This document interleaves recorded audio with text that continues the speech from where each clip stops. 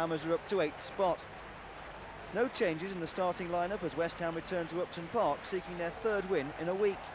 For Ian Bishop, it's his first outing against the club he left in the summer to join Manchester City. The keeper's missed it again.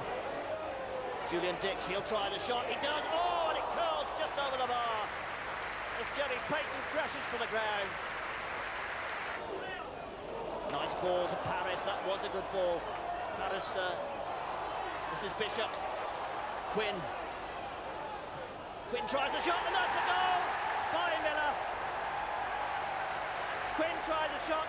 Miller got his head to it and diverted it into the net.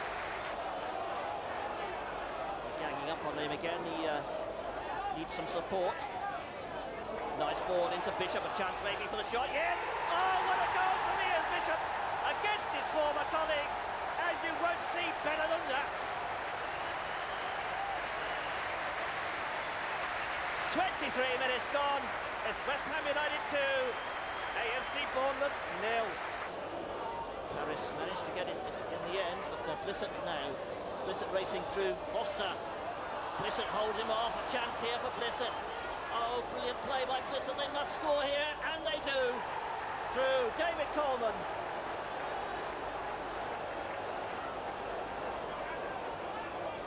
Dicks. Nice one to Slater.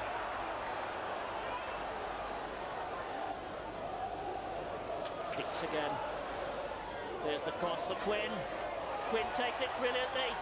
Oh, and he couldn't get it across. It's going to be a penalty as he was held back there. A penalty to West Ham United.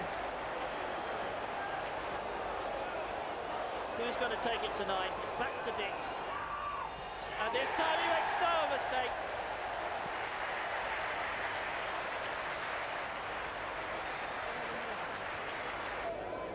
On again. Quinn with a flick. Morley getting it to Slater. Dicks again coming up in support. This is Dicks. Back to Slater. Chance for the cross. There it is. Quinn coming in. Knocks it down. Oh, it's a goal.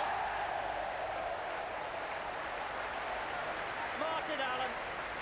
Once again set up by Quinn.